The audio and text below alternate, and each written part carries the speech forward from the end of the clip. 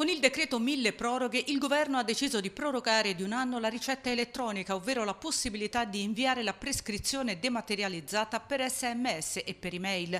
La misura scadeva il 31 dicembre e da giorni i sindacati dei medici di famiglia chiedevano la proroga che velocizza il lavoro dei medici e riduce i tempi di attesa dei pazienti. Durante il Covid ci fu un'ordinanza del Ministero della Salute per evitare che le persone potessero accedere direttamente agli ambulatori di fare una ricetta che poi veniva trasferita con o l'SMS o con, una, con, la posta elettronica, con un indirizzo email.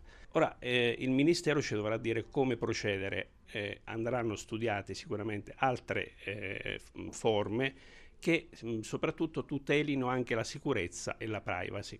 Eh, questa eh, procedura che a voi ha semplificato la vita ma l'ha semplificata anche a tanti pazienti.